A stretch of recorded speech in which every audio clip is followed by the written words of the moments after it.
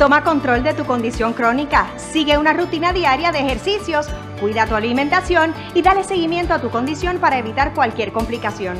Accede a saludprimariapr.org y busca tu centro 330 más cercano.